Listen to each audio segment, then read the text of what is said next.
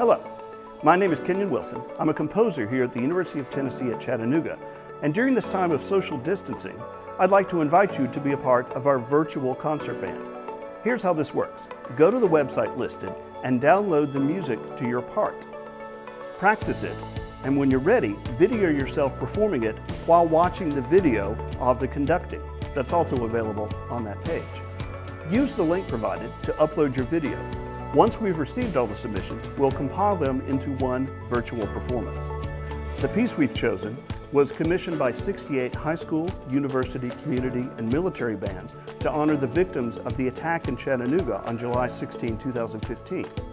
It's been five years since we've lost these heroes, and we invite you to join us as we recognize all those who serve.